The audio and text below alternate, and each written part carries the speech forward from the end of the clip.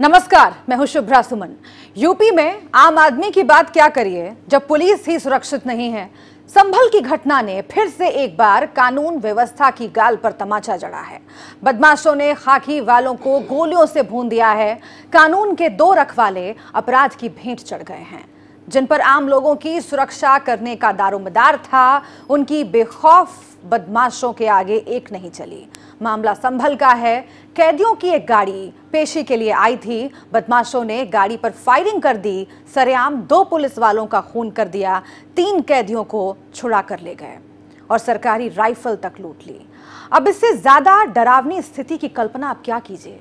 बदमाशों की हिमाकत देखिए कि उन्होंने पूरी प्लानिंग के साथ अपने साथियों को छुड़ाने के लिए हमला किया, अपने प्लान में कामयाब हुए और कानून व्यवस्था लाठी पीटती रह गई। आखिर इस अराजकता की स्थिति के पीछे कौन है? सरकार के दावों का क्या हुआ? ये सबसे बड़ा सवाल इस वक्त पैदा हो रहा है।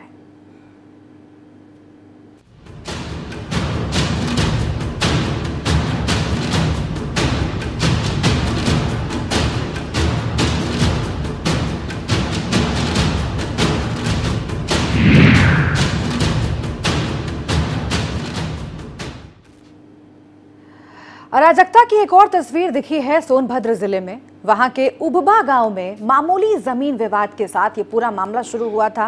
ग्राम प्रधान और ग्रामीणों के बीच लड़ाई हुई। फायरिंग में एक ही पक्ष के नौ लोगों की हत्या कर दी गई। आरोप यह है कि प्रधान पक्ष के लोगों ने ग्रामीणों पर फायरिंग शुरू कर दी थी। करीब 25 लोग इसमें घायल हुए। मरने वालों की संख्या और ज़्यादा बढ़ सकती है। इस दौरान वहाँ पर जमकर लाठी डंडे चले मरने वालों में छह पुरुष, तीन महिलाएँ बताई जा रही हैं। और ये भी बताया जा रहा है कि ये पूरा मामला जो है दो साल पहले करीब शुरू हुआ था। पहले भी इस ज़मीन को कब्जाने की कोशिश की गई थी, लेकिन पहले भी ग्रामीणों ने विरोध किया था। प्रधान पक्ष ने इस बार फायरिंग जो शुरू की, उसमें नौ लोग मारे गए। फ़िलहाल इस मामले में लगातार गिरफ्तारियाँ हो रही हैं। 24 लोगों को गिरफ़्तार किया गया है। पुलिस ने इस नरसंहार में इस्तेमाल किए गए दो असलहों को बरामद कर लिया है। जिला अस्पताल छावनी में तब्दील हो गया है। गाँव में भी शांति व्यवस्था कायम रखने के लिए पुलिस बल तैनात है। पुलिस ने जानकारी ये दी है कि ज़मीन विवाद पहले से चल रहा था और इस घटना के बाद लॉ एंड ऑर्डर कटघरे में है। वहीं आज कांग्रेस डेलीगेशन ने सोनभद्र पहुंचकर घायलों का हालचाल जाना। कांग्रेस विधायक अजय कुमार लल्लू ने कहा है कि सरकार में कानून व्यवस्था का बुरा हाल है। योगी सरकार को इस्तीफा देना चाहिए। और इसकी जिम्मेदार सरकार है, नैतिकता के आधार पर मुख्यमंत्री जी को इस्तीफा देना चाहिए। जिस ज़मीन पर आदिवासी गण जो पिछले वर्षों से वहाँ काबिज हैं, उनकी जीविका का उपार्जन है, जोत बो खाकर अपना भरण पोषण कर रहे हैं। ऐसे में उनकी ज़मीन को छीनना कहीं ना कहीं उनके साथ बड़ी जाति थी।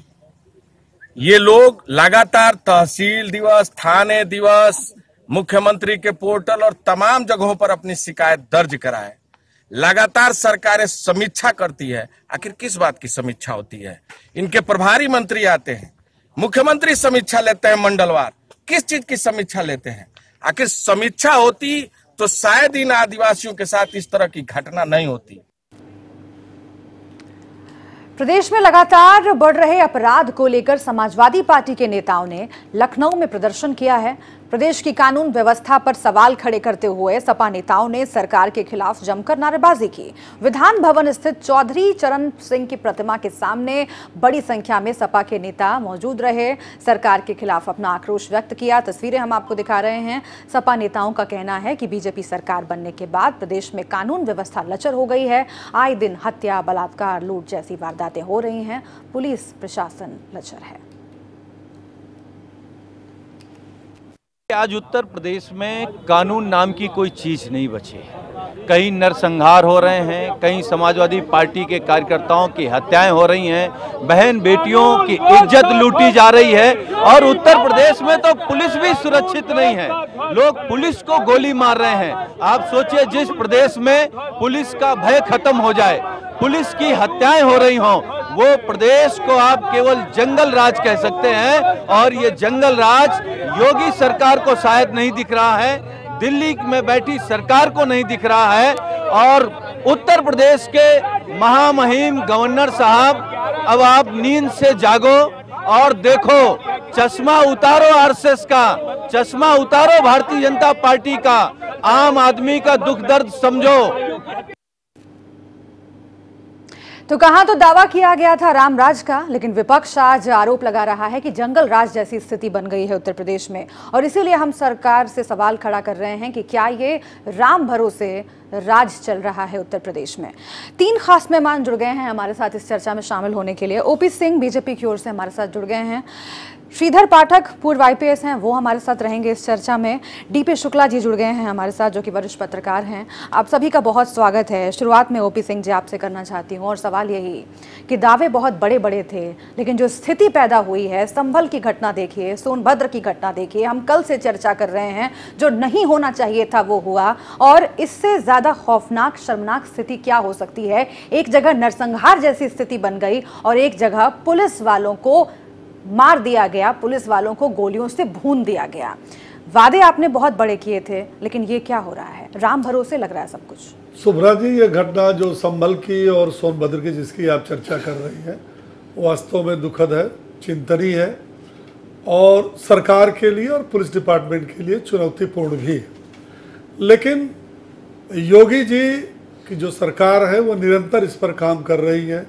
अपराधियों के विरुद्ध एक प्रकार से उन्होंने अभियान चला रखा है और इसी के तहत खुद मंडली समीक्षा योगी जी स्वयं मंडलों पर जाकर कर रहे हैं जिसमें स्वयं वो इस बात को देख रहे हैं कि अपराध की क्या स्थिति है। सिर्फ़ समीक्षाओं बैठकों और लिस्ट जो निकाली जाती है जो सूचियाँ होती हैं उसी पर तो हमारा सवाल है ना। कि क्या ये सिर्फ़ खाना पूर्ति के लिए होती हैं? क्या ये रस्म अदायगी के लिए होती है, कार्रवाई क्योंकि अगर वाकई ज़मीन पर इसका असर पड़ रहा होता तो क्या दिन दहाड़े एक वैन में वहाँ पर कैदी मौजूद थे पुलिस मौजूद थी। कैदी के जो साथी हैं वो प्लान करते हैं कि अपने साथी कैदियों को छुड़ा कर ले जाएँगे। सात आठ लोग वहाँ पर आते हैं भून देते हैं गोलियों से पुलिस वालों को। दो की मौत हो जाती है तीन कैदियों को भगा ले जाते हैं। आप कहते हैं कि लिस्ट बन रही है आप कहते हैं कि समीक्षा हो रही है आप कहते हैं कि मीटिंग हो रही है। सर क्या फ़ायदा है उसकी मैं बात कर रहा हूँ। मैं संभल की घटना जो हुई है ये वास्तव में दुखद है। और देखिए, इसके पहले एक घटना और भी मेरठ में हुई थी, जहाँ पर कि एक एक लाख के इनामी बदमाश को पुलिस पर गोली चला करके और उसको छुड़ा ले गए थे, जिसमें एक दरोगा की बाद में 10-12 दिन बाद 2 जुलाई के बाद एक 12 दिन बाद उसकी डेथ भी हो गई थी। उस मामले में पुलिस ने ऐसी कार्रवाई की कि जिस अपराधी को छुड़ा के ले गए थे, एक लाख का जो इनामी अपराधी था, उसके साथ पचास पचास हज़ार के तीन और अपराधी थे। और तीनों के तीनों को पुलिस ने मार गिराया ऐसा नहीं है जिन लोगों ने यह दुस्साहस किया है वह तो योगी सरकार में बचेंगे नहीं। उन पर ढाई ढाई लाख रुपए का इनाम भी घोषित हुआ। सिर्फ़ दो ढाई साल बीत गए हैं आप यही कह रहे हैं। जेल में हत्या का मामला हो या फिर लखनऊ में जिस तरह से लॉ एंड ऑर्डर को ताक दिया गया उसका मामला हो या फिर ये ये घटना जिसकी हम चर्चा कर रहे हैं। सोनभद्र में जो हुआ उसका क्या जस्टिफिकेशन देंगे आप? सोनभद्र में जो हुआ आप समझ रहे हैं कि नौ लोगों को एक साथ भून दिया गया गोली से ग्राम प्रधान के आदमियों पर आरोप लगा हुआ है। और ये जो लॉ एंड ऑर्डर की आप बात कर रहे हैं पहले से स्थिति दुरुस्त होने की बात कर रहे हैं ये क्यों नहीं माना जाए कि स्थिति और पहले से खराब हो गई है? क्योंकि नहीं, नहीं, खराब नहीं है, ये- नौ ग्रामीण वहाँ पर मर गए हैं। सर महिलाएँ उसमें तीन शामिल हैं। आप कैसे कह रहे हैं कि स्थिति ठीक है? सोनभद्र की भी घटना चिंतनीय है। वहाँ नौ लोग मारे गए। जमीनी विवाद था। वर्षों से आज से दो दशक से वो जमीनी विवाद था। उसमें जहाँ तक हमारी समझ में प्रशासनिक लापरवाही हुई है क्योंकि अगर प्रशासन इतना लंबा विवाद चल रहा था यदि उसको सुलझाया होता तो इस तरह की शायद घटना की पुनरावृत्ति देखिए या घटना जब ऐसी कोई घटना होती है ना तो इसके पीछे कई तरह के फैक्टर्स काम करते हैं और जो परिस्थिति पूरी बनती है उसमें कानून पुलिस प्रशासन सरकार सबका दोष होता है। और कहीं ना कहीं अपराधियों के मन में अपराधियों के मन में सर ये हिम्मत कहाँ से आती है? उनको लगता है कि उनका कुछ नहीं बिगड़ेगा। इसलिए हिम्मत आती है। और इसीलिए इसीलिए आपकी मंशा पर सवाल खड़े होते हैं। जब आप ये कहते हैं कि इनकाउंटर से अपराधियों में खौफ पैदा हो रहा है वो खौफ क्यों नहीं दिख रहा है ज़मीन पर ये देखिए कि अगर ऐसा होता तो अब तक नामी गामी चिन्हित अपराधी माफिया अब तक छियासी मारे जा चुके हैं। वो उसमें निर्दोष एक भी नहीं है। जो मतलब सर, आम सपा आदमी जो के इन लोग घटनाओं को देख रहा है, उसमें आम आदमी जो इन घटनाओं को देख रहा है, मारे गए हैं वो छियासी लोग कौन है? सर उनके जहन में तो है। आम आदमी जो देख रहा है लगातार टीवी पर इन घटनाओं को पुलिस वालों को शिकार होते देख रहा है व्यापारियों को शिकार होते देख रहा है है वकीलों को शिकार होते हुए देख रहा है पार्टी के कार्यकर्ताओं को शिकार होते हुए देख रहा है वो आपके आंकड़ों पर गौर नहीं कर पाएगा सर माफ़ कीजिए मुझे। नहीं वो- आंकड़ों पर गौर क्यों नहीं करेंगे? वो सिर्फ़ इस तस्वीर ये को बताइए, देखेगा, सर। उत्तर प्रदेश का उत्तर इस से लेकर को देखेगा जो खौफ पैदा कर रही नहीं, है। आप ये बताइए पुलिस वाले जिन पर ज़िम्मेदारी होती है सुरक्षा की वही सुरक्षित नहीं है। लोग कौन मारे आप गए? क्या बात इसको तो आप स्वीकार करेंगे ना वो छियासी लोग कौन मारे गए? सर श्रीधर पाठक जी। जी। जो ये आंकड़ों की बात बार बार होती है इनकाउंटर्स की बात होती है, इतने अपराधी मारे गए, इतने अपराधियों का एनकाउंटर हुआ या फिर इतने जेल में हैं।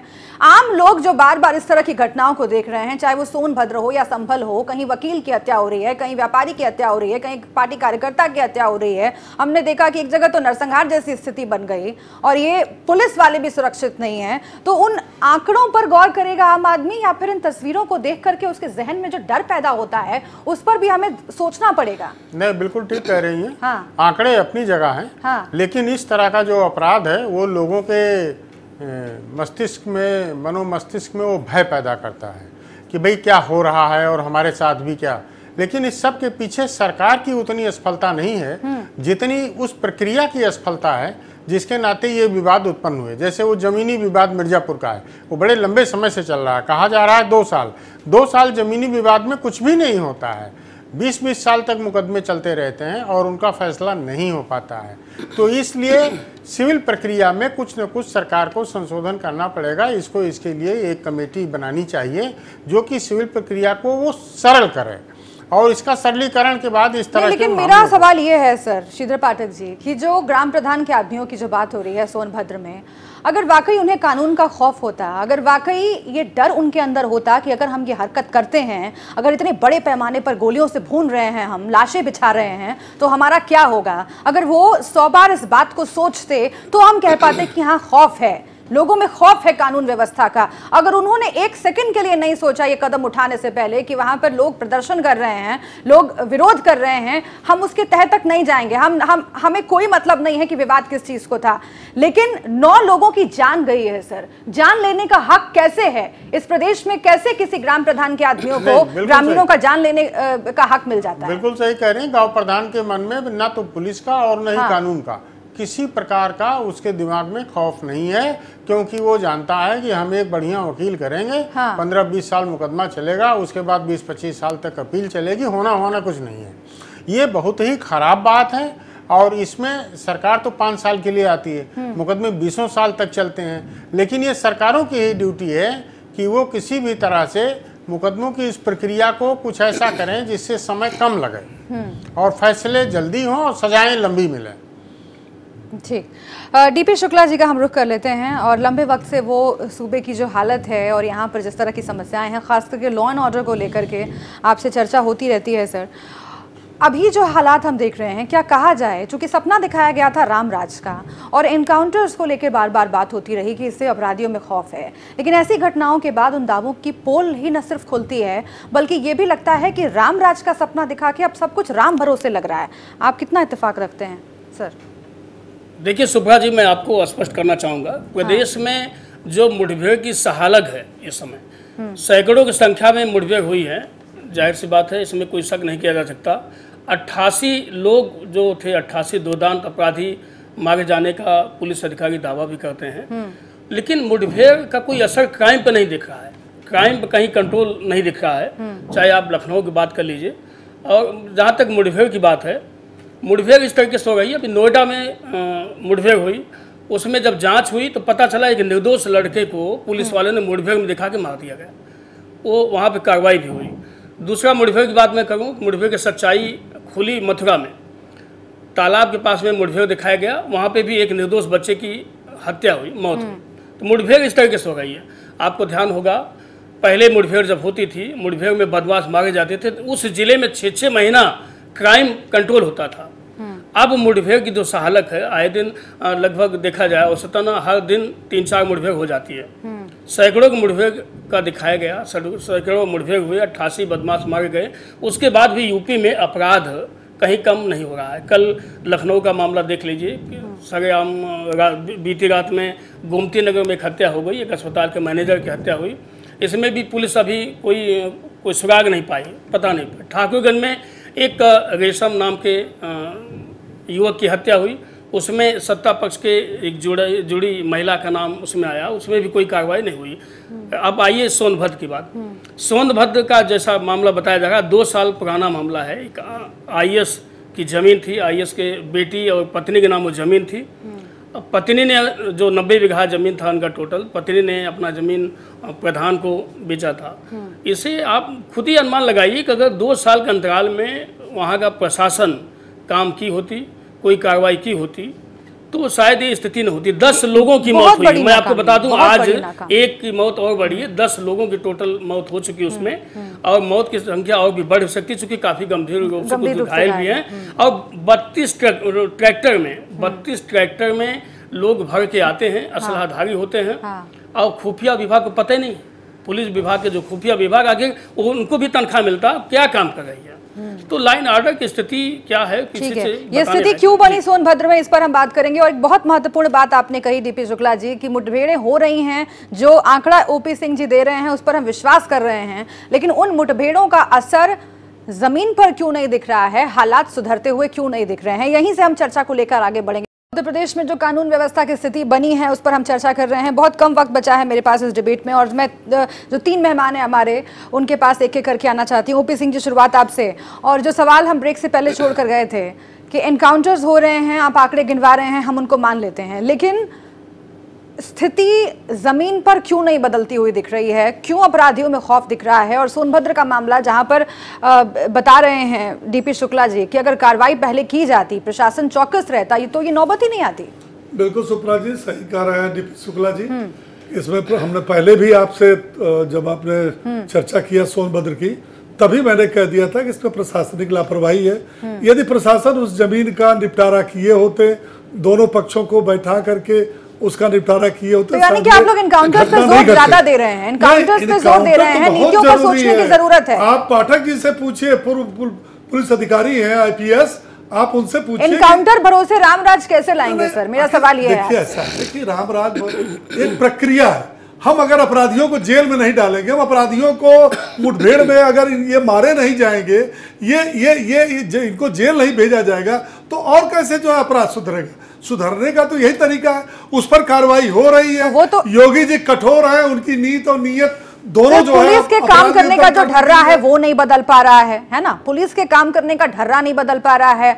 अपराधियों में जो खौफ है वो हम नहीं देख रहे हैं। आप कैसे कहते हैं कि नीतियाँ काम कर रही इसीलिए मैं पूछ रही हूँ कि क्या कि जो जिन नीतियों पर सरकार काम कर रही है उसको फिर से एक बार सोचने की ज़रूरत मैं इस बात के लिए चुनौती दे रहा हूँ हाँ। कि आज के तारीख में उत्तर प्रदेश में जितने नामी गामी माफिया अपराधी चाहे वो किसी पार्टी द्वारा संरक्षित और संवर्धित रहे हो। एक भी जेल के बाहर नहीं है। एक का नाम डीपी शुक्ला जी वरिष्ठ पत्रकार है उत्तर प्रदेश के। बताएँ कि कौन सा ऐसा अपराधी है जो पुलिस के लिए चुनौती बना? हाँ ये घटना हमारे लिए ज़रूर चुनौती है। और जैसे कि मेरठ की घटना का मैंने हवाला दिया कि एक सप्ताह के अंदर मारे गए ये भी जो है देखिएगा दो तीन दिन के अंदर निश्चित रूप से मुठभेड़ में इनके खिलाफ कार्रवाई डीपी शुक्ला कार्रवाइयाँ हमेशा बाद में क्यों होती हैं? आज क्या स्थिति बदली है जो हम एक रवैया देखते हैं पुलिस प्रशासन का कि हमेशा घटना हो जाने के बाद कार्रवाई होना? अगर पहले से सचेत रहे कानून तो क्यों ये घटनाएँ होंगी? देखिए मैं आपको बता दूँ जैसा कि ओपी सिंह साहब ने कहा कि मुठभेड़ कहते हैं। हाँ। मुठभेड़ हो जाता है होता नहीं है। अचानक मुठभेड़ हो जाता है बदमाश पुलिस पर फायरिंग करता है पुलिस आत्मरक्षा गोली चलाता है जिसके फलस्वरूप बदमाश घायल होते हैं उन्हें अस्पताल के लिए ले जाता है उनकी डेथ होती है ऐसा ऐसा है मुठभेड़ में। रही बात कानून व्यवस्था की मुठभेड़ अगर वास्तविक बदमाश मारे जा रहे हैं जैसा कि ओपी सिंह साहब ने कहा अपराध पर क्यों नहीं उसका असर पड़ रहा है? अगर मुठभेड़ें हो गई हैं सच्चाई मुठभेड़ हो गई और अभी तक सात पुलिस कर्मियों की जान गई मुठभेड़ में। जैसा कि पुलिस का आंकड़ा जो बताता है सात मुठभेड़ में पुलिसकर्मी भी हमारे जान गंवाए हैं। और उसके बावजूद भी अपराध पर अंकुश नहीं है। आपको लगता है श्रीधर पाठक जी कि नीतियों पर विचार करने की ज़रूरत है? क्योंकि अगर उनका जो फल है हम ज़मीन पर नहीं देख रहे हैं तो वाकई कहीं ना कहीं कुछ तो कमी है। हाँ बिल्कुल। इस पर अलग से एक विचार होना चाहिए और एक लंबी कमेटी इस पर बैठाई जानी चाहिए। मेरी सोच है कि इनको आज की आवश्यकताओं के अनुरूप एक अलग से उत्तर प्रदेश पुलिस अधिनियम बनाया जाना चाहिए ताकि क्राइम होने के पहले ही पुलिस अपनी कार्रवाई कर सके उसको इस बात का लीगल अधिकार दिया जाना चाहिए जिसकी कमी है इस समय। और जो हमारा वर्तमान एक्ट है ये तो डेढ़ सौ साल पुराना है उस समय ये परिस्थितियाँ नहीं थी ऐसा कुछ भी नहीं था। लेकिन अब स्थिति ऐसी आ गई है कि इन्हें उत्तर प्रदेश पुलिस अधिनियम बनाना चाहिए और उसके तहत कार्रवाई करने के लिए मजिस्ट्रेट तैनात किए जाने चाहिए। संभल में जो घटना हुई है डीपी शुक्ला जी आपको लगता है कि उसके बाद फिर से एक बार ये चर्चा तेज हो जानी चाहिए कि पुलिस के पास जो अधिकार होते हैं वो कितने ज़्यादा कितने कम? देखिए आईजी एसटीएफ मौके पे भेजे गए हैं। आईजी एसटीएफ अमिताभ जी हैं काफ़ी तेज तरार छवि के अधिकारी हैं। हाँ। उन बदमाशों की गिरफ्तारी के लिए पुलिस की कई टीमें बनाई गई हैं जैसा कि डीजीपी साहब ने भी बताया कि कई टीमें उन्होंने अलर्ट कर रखा है। ढाई लाख रुपए के इनाम भी रखा गया है जैसा कि डीजीपी साहब ने बताया है। उन बदमाशों की खुदबीन हो गई और ज़ाहिर सी बात है इतनी बड़ी घटना जिसमें हम अपने दो जवान को खो चुके हों अब सोचिए उनके परिवार पर क्या गुजर रहा होगा। और जैसा कि ओपी सिंह साहब ने कहा कि नामी गिरामी बदमाश कोई बाहर नहीं है। हाँ। तो जो ये बदमाश है इनसे कौन निपटेगा? बिल्कुल। इनसे निपटना भी सरकार की ज़िम्मेदारी है और जब तक ये नहीं होगा तब तक आम लोगों को सुकून नहीं मिलने वाला है। आम लोग जब ये तस्वीरें देखते हैं तो आतंक कहाँ है? पैदा होती है। का डर कहाँ बिल्कुल। है? जो आतंक फ़िलहाल दिख रहा है आम लोगों में? वही बदमाशों में शिफ्ट होना है सैकड़ों की संख्या में मुठभेड़ हो चुका है। वक्त हमारे पास इतना ही था। बहुत शुक्रिया आप सभी का हमसे बातचीत करने के लिए।